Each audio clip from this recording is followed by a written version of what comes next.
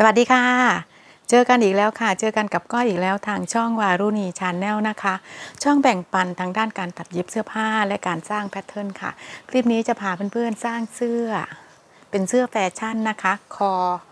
กลมกว้าง แขนกุด คอจะมีปกเฉพาะด้านหน้านะคะ ชายบาน ข้างเล็กน้อยนะคะสัดส่วนที่จะบวกนะคะเป็นเสื้อตัวปล่อยนะ รอบอกบวกนะคะ ถ้าทุกคนไซส์เล็กนะคะ บวก 6 เซนบวกตามสัดส่วนของเรานะคะ รอบอกบวก6ถึง8ถึง10 cm รอบสะโพกบวก5ถึง6ถึง8 cm บวกตามสัดส่วนของเรา ในส่วนของรักแร้นะคะ ตัวเล็กก็บวกที่ 3 เซน4เซน5เซน6เซนตามสัดส่วนของเรานะคะ ตัวใหญ่เราก็บวกเยอะเพิ่มขึ้นนะคะ มาเริ่มเลยค่ะ เป็นเสื้อสวมหัวนะคะ คอจะกว้างมีปกด้านหน้า เหมือนเดิมนะคะ อันดับแรกเลยเราก็ตีกรอบเสื้อก่อนนำส่วนที่ใหญ่ที่สุดของร่างกายเราก็คือสะโพกนะคะบวกรวมหารสองถ้าหน้าอกเราใหญ่กว่าสะโพกเราก็ใช้หน้าอกเรานะคะ ตีกรอบเสื้อนะคะ ตัวนี้ก็ตีกรอบแล้วเรียบร้อยเนาะตีกรอบแล้วเรียบร้อย สร้างเริ่มแรกเลยนะคะ ตัวนี้เป็นของลูกค้า ก็เริ่มสร้างเลยนะคะจากริมกระดาษวัดลงมาเหมือนเดิมนะคะ10เซนจากริมกระดาษวัดลงมา 10เซนนะคะ ขีดเส้นค่ะ เป็นเส้นคอนะ จากเส้นคอวัดลงมาเท่ากับยาวหน้าที่เราวัดได้นะคะ ติ๊กเอาไว้ ยาวหน้าวัดจากเส้นคอลงมาค่ะ ติ๊กไว้ค่ะ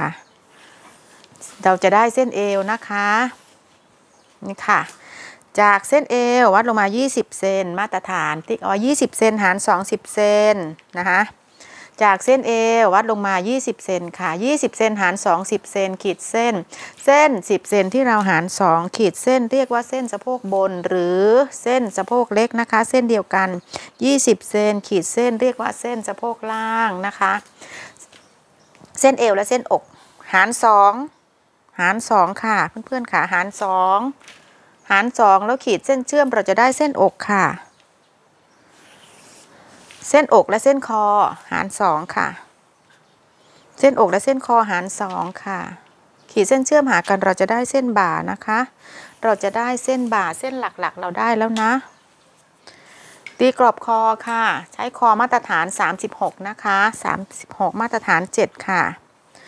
แนวสูงของคอ 7 เซนค่ะ 7 cm นะคะ แนวสูงของคอวัดขึ้นมาจากเส้นคอ แนวตั้งนะคะ 7 cm นะคะ แนวนอนของคอวัดจากริมกระดาษออกไป 6 เซนครึ่งนะคะ มาตรฐานนะคะ 6 เซนครึ่งค่ะ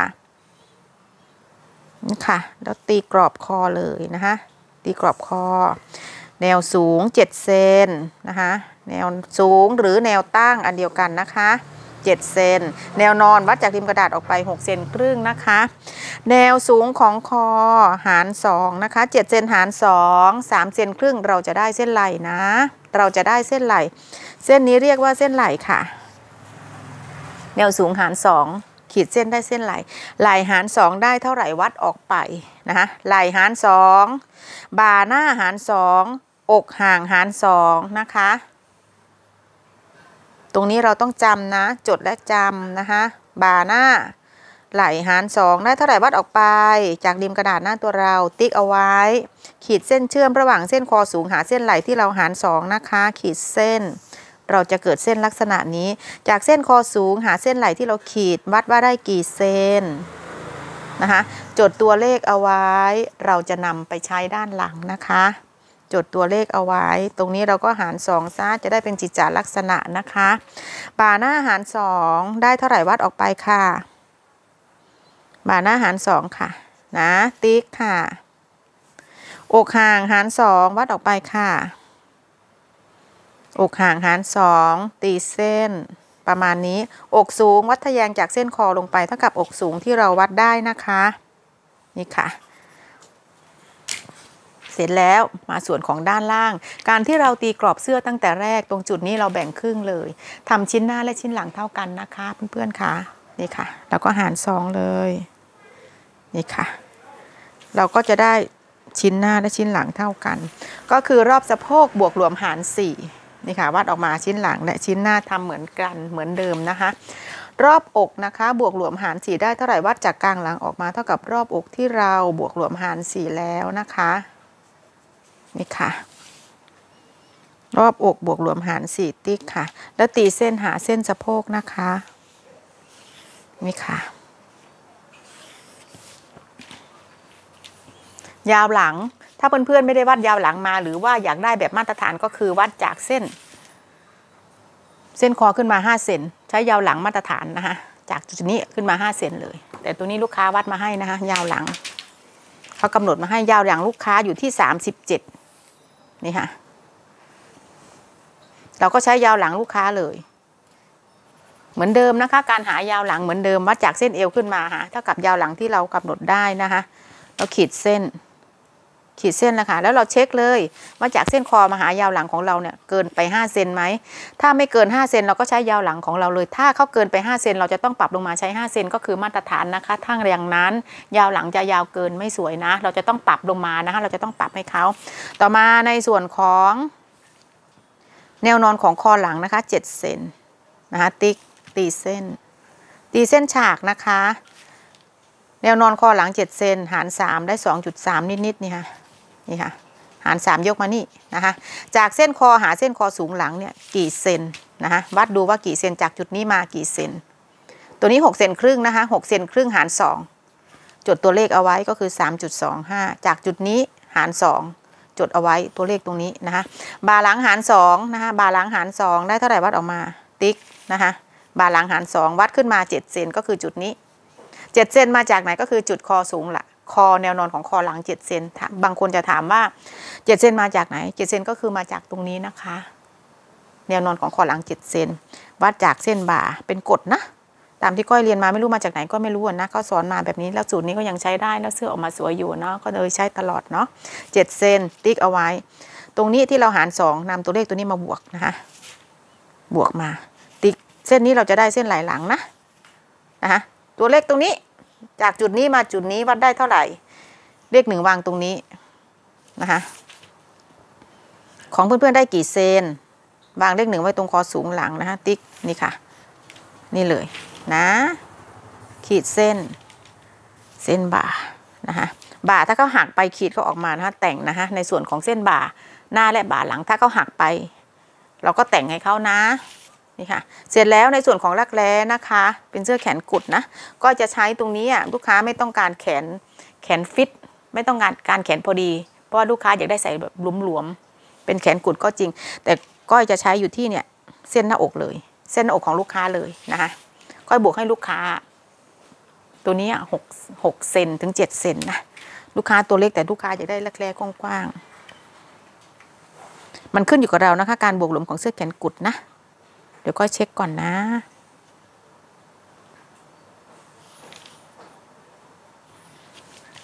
รอบรักแร้สี่สิบสามไซส์นี้นะ รอบอกแค่สามสิบสิบเอ็ดนิ้วเองค่ะ ตัวนี้แต่ลูกค้าอยากได้กว้างๆ นี่ค่ะ เราก็เช็คเลยเท่ากับรอบรักแรกที่เรากำหนดไหมนะคะ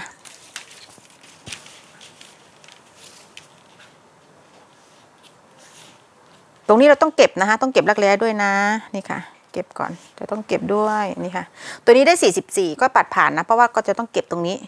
ต้องเก็บในส่วนของรักแร้เราจะต้องเก็บเพราะว่าเป็นเสื้อแขนกุดนะคะเราจะต้องเก็บ ก็จะเก็บเลยตรงด้านหลังจะเก็บ 0.75 นะคะ 0.75 นี่เลย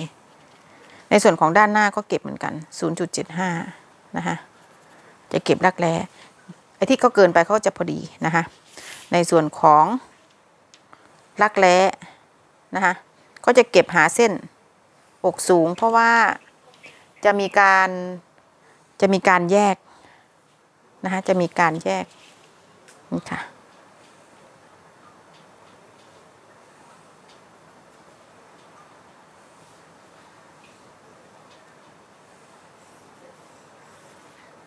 ตรงนี้นะคะ จะใช้เส้นบ่าเลยก็ได้หรือใต้บัดจากเส้นบ่าลงมา สักประมาณ1เซนก็ได้หรือ เราจะใช้เส้นนี้ก็ก็ได้นะคะตรงนี้ไม่มีผลนะตรงนี้ไม่มีผลนะคะเพื่อนๆค่ะอ่าในส่วนของด้านหลัง ด้านหลังจะแยกด้วย จะแยกเพื่อที่จะให้เข้าบานตรงส่วนของชายเสื้อ ชายเสื้อเขาจะบานแต่จะไม่บานช่วงหน้า จะบานช่วงข้างนะคะออกไปตรงจุดนี้นี่ค่ะอันนี้ข้างเสื้อจะไม่ต้องไม่ต้องการให้เข้าบานตรงกลางหน้าทีเดียว จะแยกบานตรงนี้นะคะในส่วนของข้าง ฉะนั้นตรงรักแร้ของด้านหลังเนี่ย ก็จะปิดแบบนี้ อันนี้คือเส้นยอดอกถูกไหมคะ อันนี้อันนี้คือเส้นอกของเรานะคะ ในส่วนของชิ้นหลังนะ อันนี้มันเป็นเทคนิคของช่างนะคะเพื่อนค่ะมันเป็นเทคนิคของช่าง มันแล้วแต่เราจะเลือกทำนะคะ ก็จะแยกบานระยะระหว่างข้างตรงนี้ตีเส้นนะคะ อันนี้เป็นเส้นตรง จะเอาประมาณนี้ ต้องการให้เขาแยกในส่วนของด้านข้าง ไม่ต้องการแยกตรงส่วนของหลังกลางตัว ฉะนั้นจะปิดเกล็ดในส่วนของรักแร้ที่เราปิดกันอ้าก็จะปิดแบบนี้นะคะ ก็จะปิดหาเส้นนี่ค่ะ แบบนี้ แล้วจะตีแยกตรงจุดจุดนี้ลงไปด้านล่างนะคะ อันนี้เป็นเทคนิคของช่างนะคะเพื่อนขา อันนี้ในส่วนของด้านหน้าค่อยว่ากันกำหนดความยาวเสื้อของเราขึ้นมาเลยนะคะกำหนดความยาวเสื้อของเราขึ้นมาเลย เราต้องการความยาวเสื้อเท่าไหร่กำหนดขึ้นมานะคะอันนี้แล้วแต่เรานะคะบัดเอียง จากเส้นลูกค้ากำหนดความยาวเสื้อตัวนี้มาให้ที่ 26 26 นิ้วครึ่งนะ ตรงนี้นี่ค่ะ ลูกค้าตัวสูง แล้วแต่เรานะคะ อันนี้เป็นลูกค้าก้อยนะ เสื้อยาว 26 นี่นะ นี่ค่ะ ตีเส้น ในส่วนของชายตัวนี้ตัดเส้นตรงไปก่อนนะคะ เดี๋ยวเราค่อยแต่งนะ ในส่วนของชายเสื้อตีเป็นเส้นตรงไปก่อน เดี๋ยวเราค่อยแต่งนะคะทำทีละขั้นตอนนะ ได้ทรงเสื้อสวยๆหน่อย ตัดออกไปนะคะ ก็จะตัดออกไปก่อน ตัดเส้นตรงค่ะ ตัดผ่าเส้นตรงเลยนะคะเดี๋ยวค่อยว่ากัน เดี๋ยวปรับไหล่ก่อนนะ จะต้องมีการปรับไหล่นะคะเพื่อนๆขา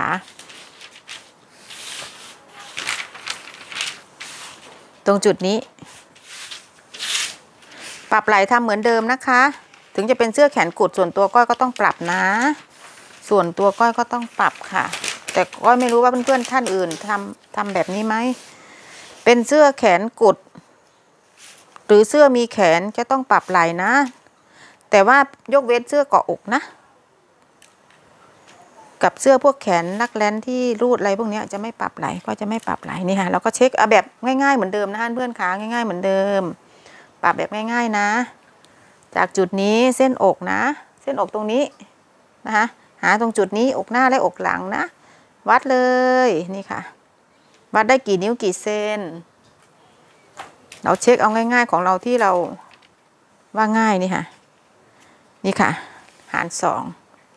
ได้เท่าไหร่ หารสองได้เท่าไหร่ ด้านหลังเราก็ยกมาหนึ่ง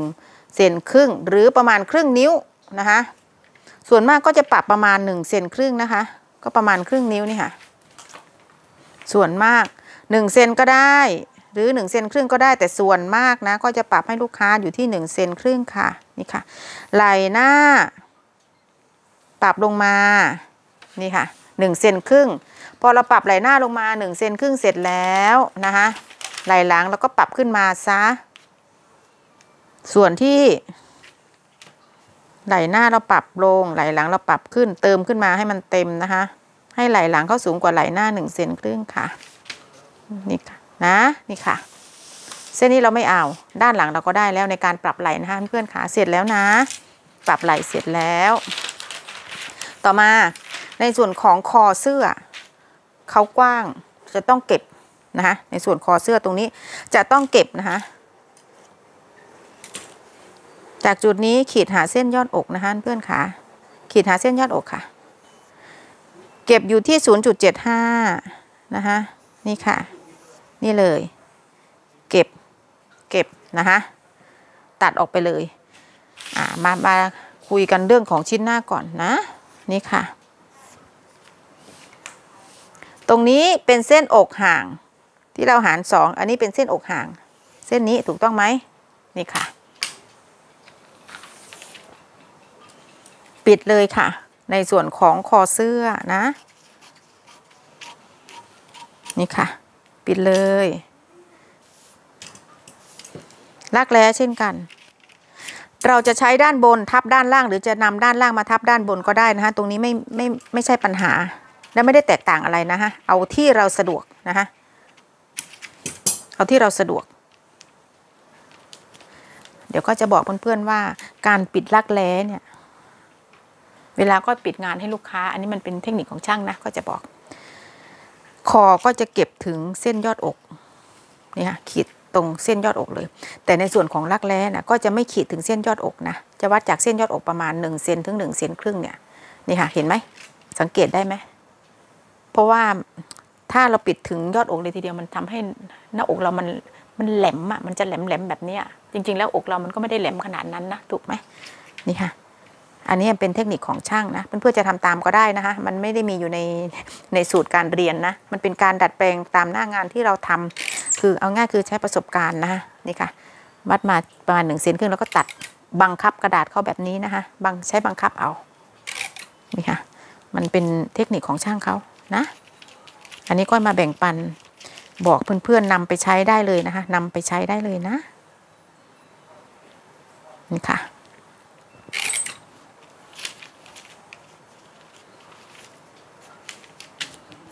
เดี๋ยวตรงนี้ก็จะบอกนะคะเอาด้านข้างมาปะชนกันก่อน เดี๋ยวจะตัดแยกในส่วนของตรงนี้ ตรงส่วนของเส้นอกสูง อกห่างที่เราวัดลงมาตีที่เส้นตรง แต่ถ้าเราตัดแยกกระดาษตรงนี้ ความบานของชายเสื้อตามทรงมันของในหน้าปกน่ะมันไม่ใช่อย่างนั้น มันไม่ได้บานออกจากตรงกลางเสื้อตรงนี้ มันจะบานในช่วงเฉพาะข้างๆ ชิ้นหน้าและชิ้นหลังเหมือนกัน ตรงนี้คือเส้นอกหางที่เราตีตรงลงมา ฉะนั้นเราจะแบ่งครึ่งระหว่างเส้นข้างกับเส้นอกหางที่เราหารออกมาแล้วเนี่ยค่ะ เราจะแบ่งข้างนี่ค่ะ เราจะแบ่งครึ่งนี่ค่ะ จากจุดเส้นข้างนะคะ ตรงนี้หาเส้นอกหางที่เราหารตีตรงลงมา จากจุดนี้กับเส้นข้างเนี่ยเราจะแบ่งครึ่งนะคะ แบ่งครึ่งแบบนี้นะคะ ตีตรง นี่ค่ะ อันนี้คือจุดยอดอกของเรา ตีเอียงนะคะตีเอียงหาแบบนี้ อันนี้เป็นเส้นตรงถูกไหม อันนี้เป็นเส้นตรงยอดอก แต่เราจะไม่ตรงให้ถึงเส้นตรงเราตีเอียงลงไปแบบนี้นี่ค่ะในส่วนของข้าง ด้านหลังก็เช่นกัน ข้างวัดมาหาด้านหน้าตรงนี้ที่เราแบ่งตรงนี้นะกี่เซนกี่นิ้ว เราก็วัดจากด้านหลังเท่ากันนะคะนี่เลยตีหาเส้นนี้ที่เราจะเก็บนี่ค่ะอันนี้ชิ้นหลังนะ ตัวนี้ชิ้นหลัง ตัดแยกค่ะ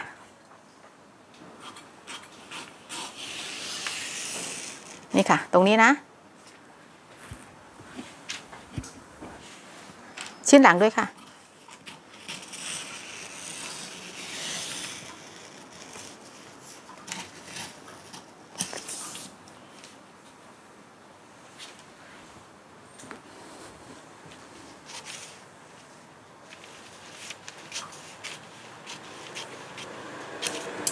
ตรงนี้ชิ้นหลังนะคะ เห็นไหมนี่ค่ะ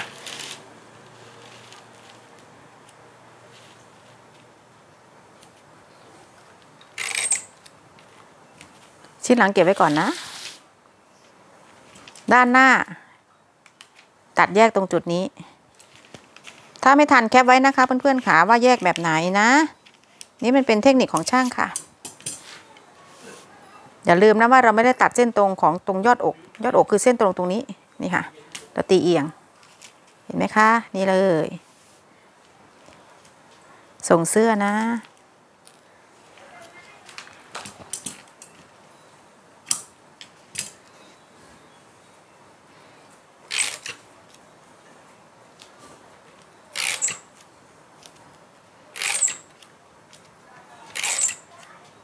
ในส่วนของบ่าหน้าที่เราเก็บเข้าไปตรงจุดนี้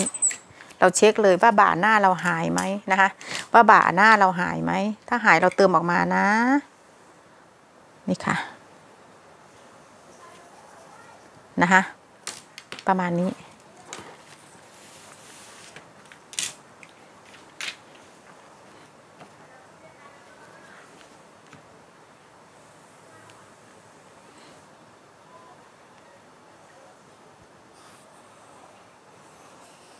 เราแต่งวงแขนใหม่นะคะนี่ค่ะ เดี๋ยวด้านล่างเราค่อยเติมกระดาษนะ เดี๋ยวด้านล่างเดี๋ยวเราค่อยเติมกระดาษค่ะ ชิ้นหลังก็เหมือนกันนะคะชิ้นหลังก็เหมือนกัน เช็คดูบ่าหลังของเรานะคะว่าเขาแหว่งไปไหม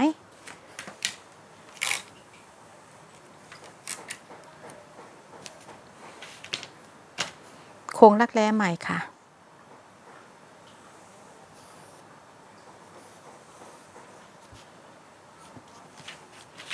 ดี๋ยวเราค่อยเสริมกระดาษในส่วนของชายที่เราตัดแยกออกไปนะคะต่อมาเราจะมาวาดในส่วนของคอเสื้อนะคะคอเสื้อเขาจะเป็นคอกว้างนะคะตรงปลายไหล่ตรงนี้อะแขนล้ำนะเราจะทำเป็นแขนพอดีไหลเลยก็ได้นะคะตัวนี้ก็จะเก็บเข้ามาจากปลายไหล่หนึ่งเซนนะคะจากปลายไหล่ตรงนี้เก็บเข้ามาหนึ่งเซนนี่ค่ะ จากจุดนี้นะ เก็บเข้ามาหนึ่งเซนค่ะ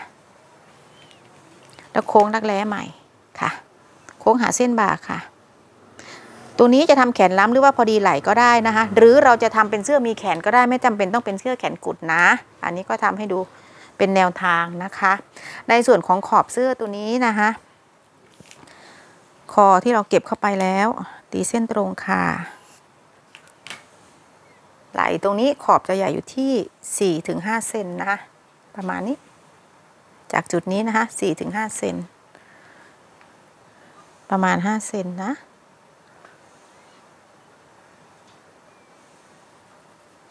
สี่ห้าหรือหกเซนได้หมดนะคะ แล้วแต่เราตรงจุดนี้ ให้ดูความเหมาะสมนะ ในส่วนของคอกว้างคอลึกตรงนี้นะ เดี๋ยวก็จะคำนวณให้ดูนะคะ ในส่วนของคอลึกนะคะ เสื้อตัวนี้นะห้าห้าเซนนะคะห้าถึงหกเซนได้หมดนะนี่ค่ะ วัดจากคอลงมาหกเซนหรือห้าเซนก็ได้นะคะ ตามชอบ ในส่วนของคอกว้างตรงนี้นะคะ คอกว้างตรงนี้วัดออกไปเลยห้าเซน อันนี้ก็กะให้ก่อนเลยนะว่า5เซนกว้าง 5 ลึก 5 ได้หมดนะ ตรงจุดนี้ เดี๋ยวเพื่อนๆมือใหม่จะงง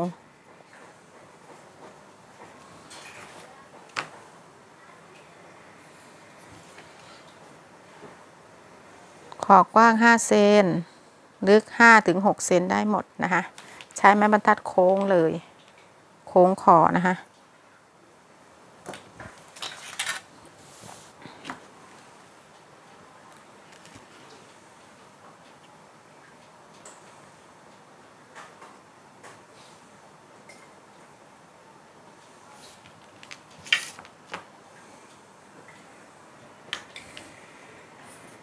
อันนี้เป็นแนว หารสองนะ แบ่งครึ่งเอาก่อน วัดลงมาจากจุดนี้นะคะ วัดลงมา2เซน จากจุดนี้วัดลงมา2เซนนะคะ เดี๋ยวก็กะให้นะ ขีดเส้น หารสองนะคะ วัดลง2เซน เดี๋ยวเพื่อนๆมือใหม่จะงงนะคะใช้ไม้บรรทัดตรงนี้วาง นี่ค่ะ อันนี้เป็นขอเสื้อ ทีนี้เราจะมาวาดปกนะคะตรงหัวไหล่ปกจะมีเฉพาะด้านหน้านะคะตรงไหล่ตรงเนี้ย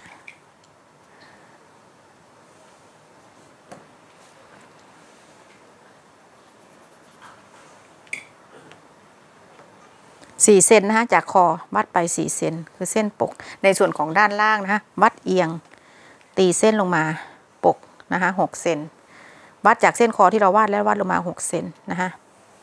หกเซนแล้ววัดออกไปจากจุดนี้วัดออกไปหนึ่งเซนครึ่งค่ะหนึ่งเซนครึ่งนะคะ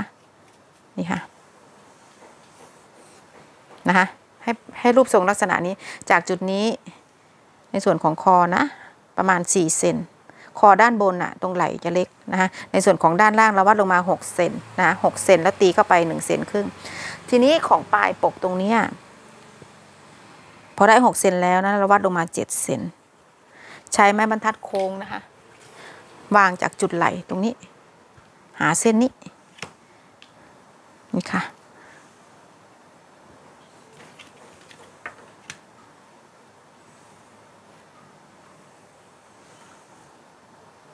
เราหามุมนะคะ หามุมของไม้บรรทัด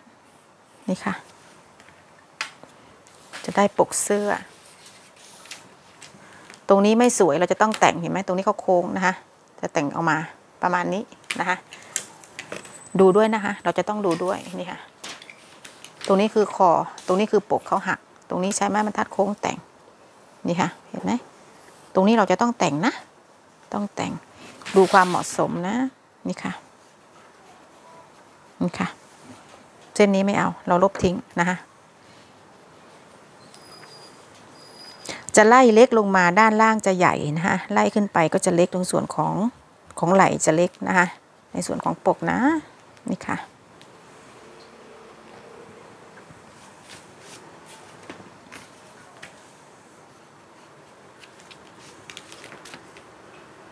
ที่ก้อยไม่ใช้เมจิกก็เพราะอย่างนี้นะคะ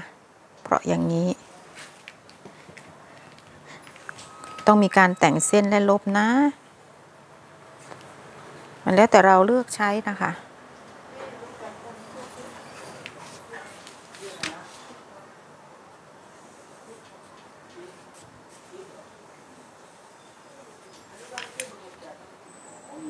นี่ค่ะ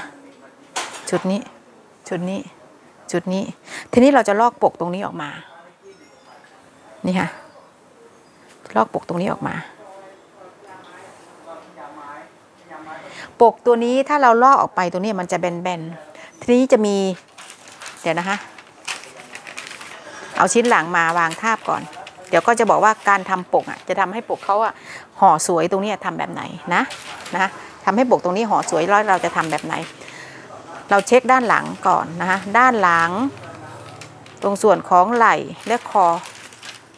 ก่อนนะคะอันนี้คือคอจริงของเรานะคะ ให้ชนกันนะคะให้ชนกัน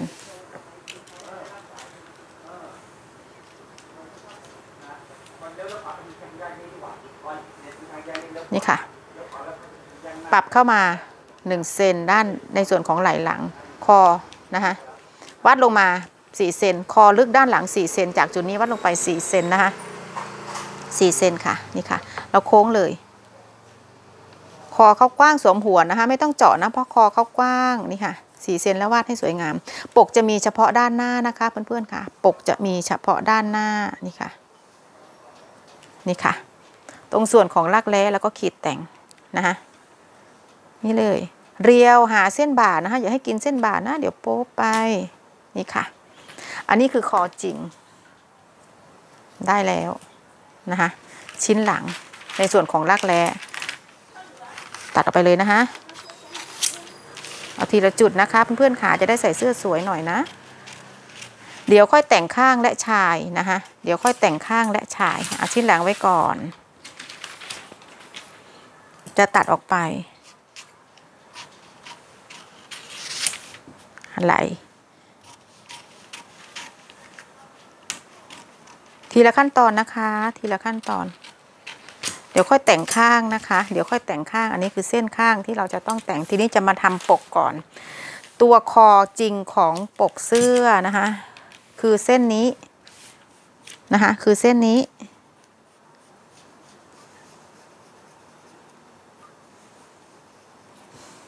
คือเส้นนี้ ลอกปกตรงนี้ออกมานะคะ ลอกปกของเส้นนี้ออกมา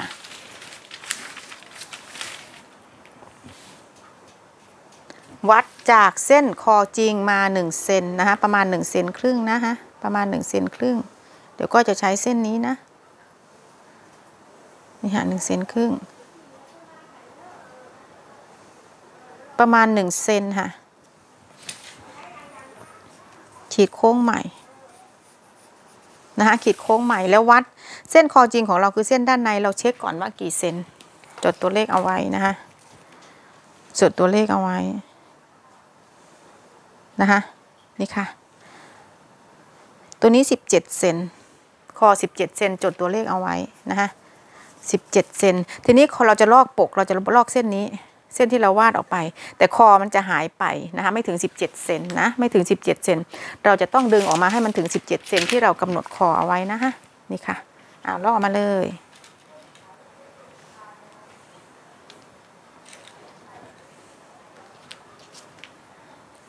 ลอกเส้นนี้นะคะ ตัวนี้เป็นคอจริง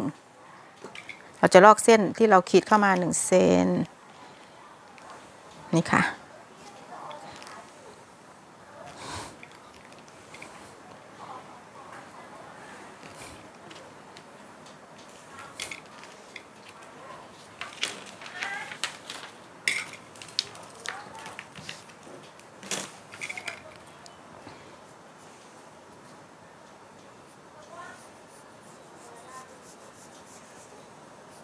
นี่ค่ะ เราลอกออกมาสองเส้น เ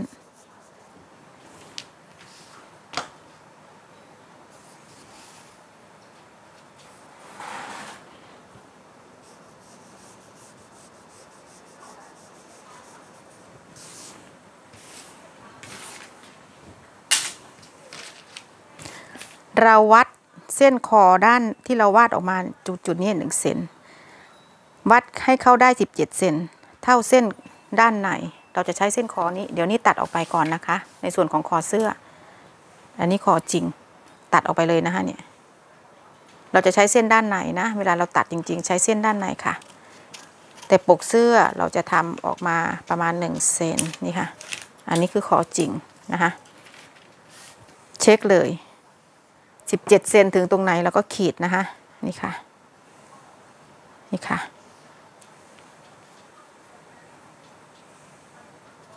นี่ค่ะ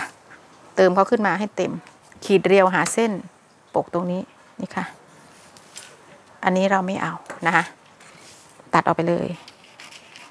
เราได้ปกแล้วนะ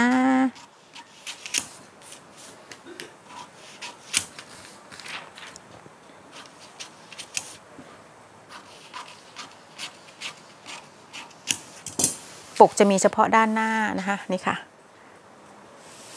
เวลาเราไปเข้าปกนะเขาจะห่อห่อๆแบบนี้หน่อยนึงนี่ค่ะเขาจะไม่แบนราบทีเดียวเขาจะไม่ได้แบนราบทีเดียวกับตัวเสื้อนะคะ เวลาเราไปเข้าปกตรงนี้นะนี่ค่ะ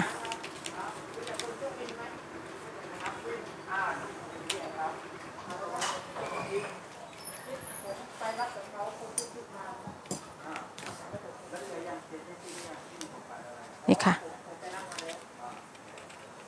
นะคะ ปก คือตรงปกเสื้อนี่นะเราจะใส่เฉพาะด้านหน้าด้านหลังจะเป็นเสื้อคอกลมธรรมดานะคะเดี๋ยวก็จะอธิบายให้ฟังอีกครั้ง เดี๋ยวก็จะมาต่อในส่วนของชายเสื้อก่อนเนาะจะมาทำชายให้ดูก่อน ตรงนี้แต่งเสริมเลยนะเดี๋ยวต้องมีการปรับนะคะจะต้องมีการปรับนี่ค่ะ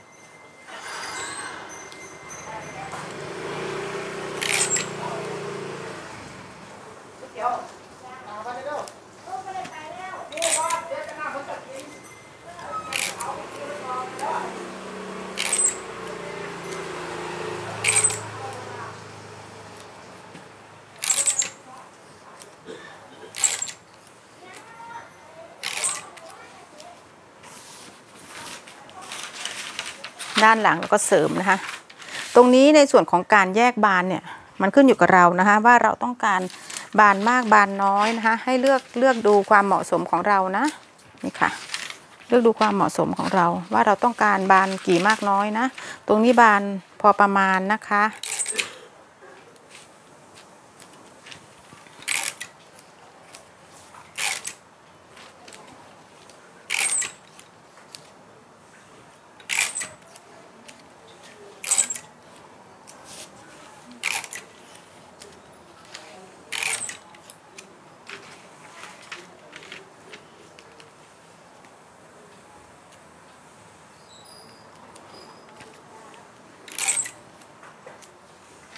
จะตัดในส่วนของข้างตรงนี้ออกไป เราจะมาเช็ครอบวงแขน ว่าโค้งบนสวยไหมใต้รักแร้นะคะ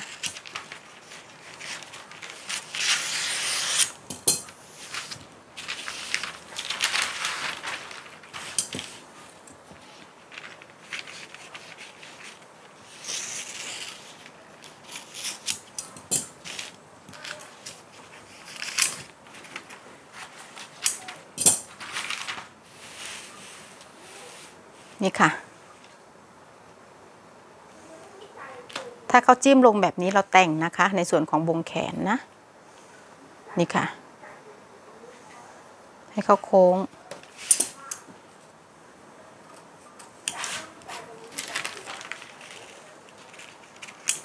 อ่า เราจะมาคุยมาคุยกันเรื่องชายว่าเราจะแต่งยังไง เอาวางนะคะ ดูว่าเข้าบานกี่มากน้อยเอามาชนกัน เราสามารถขีดบานในส่วนของข้างออกไปได้อีกนะคะเนี่ยถ้าเขานี่นะ เดี๋ยวก็จะเสริมกระดาษเข้าบานน้อยไปเพื่อนๆดูนะนี่ค่ะ แต่ถ้าเราไปแยกให้บานตรงนี้เยอะไม่ต้องการให้เขาออกตรงนี้เยอะ ตรงนี้เราแต่งได้ค่ะ มันขึ้นอยู่กับเราตัวนี้ก็จะเสริมกระดาษเพื่อที่จะแยกบานในส่วนของ ข้างออกไปให้เท่า ๆกันนะคะอันนี้ก่อนนะคะวางก่อน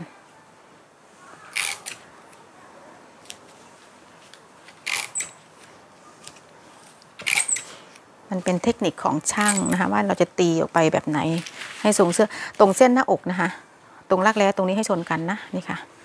เราจะได้มองเห็นว่าเวลาเราใส่เสื้อประกอบขึ้นมาแล้วเขาบานช่วงข้างนี่เขาบานออกไปแบบ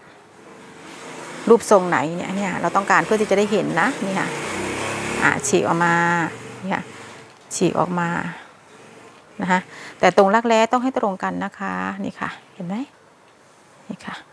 เดี๋ยวก็จะวัดให้ดูนะ อันนี้มันขึ้นอยู่กับเรานะ เราต้องการให้เข้าบานไปเท่าไหร่ขึ้นอยู่กับเราดูสายตาของเราค่ะ กะด้วยสายตาของเรานะ เดี๋ยวเพื่อนๆจะถามว่าตัวเลขเท่าไหร่มือใหม่เราก็จะบอกนะ จากจุดนี้ด้านหน้ามาหาด้านหลังว่ากี่เซนเดี๋ยวก็จะบอก ถ้าเพื่อนๆจะทำตามเอาตามขนาดของก้อยก็ได้นะคะ ตรงนี้ 20 เซนนะคะ จากจุดนี้มาจุดนี้ 20 เซนชิ้นหน้าและชิ้นหลังมาหาก็คือ 20 เซนฉะนั้น20 เซนเราจะแบ่งให้เท่า ๆกันก็คือ ด้านหน้า 10 เซนด้านหลัง 10 เซนนะคะนี่ค่ะ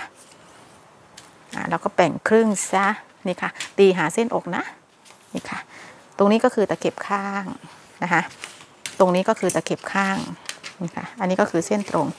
พอเราได้ในส่วนของตะเข็บข้างเสร็จแล้วเรียบร้อยนะเดี๋ยวก็ขออนุญาตตัดก่อนนะนี่ค่ะ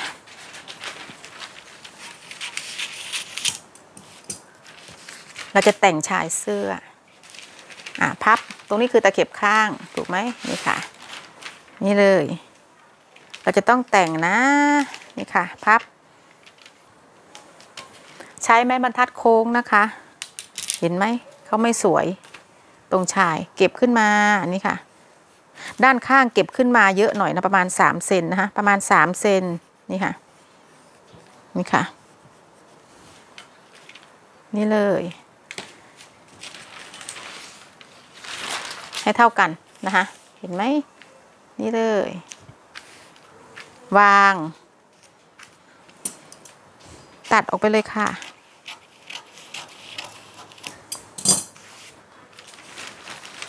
นี่ค่ะ สังเกตไหมว่าข้างเขาจะเก็บขึ้นไป แล้วก็ตัดออกไปนะคะ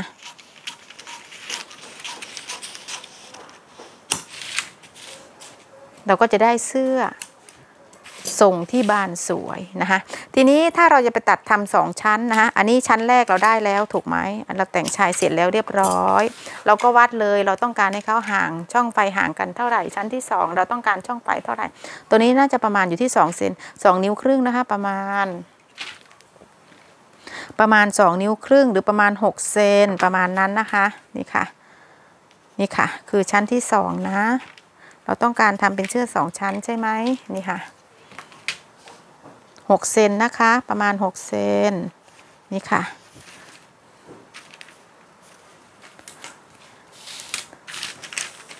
ชั้นที่สองนะ ห่างกันประมาณหกเซนหรือสองนิ้วครึ่งนะคะกำลังดี นี่ค่ะ จะเอาห่างเยอะกว่านั้นก็แล้วแต่เรานะ อันนี้ก็กะให้ลูกค้าอยู่ที่ 6 เซนหรือ 2 นิ้วครึ่งค่ะ นี่ค่ะ ชั้นที่ 2 นะ นี่ค่ะ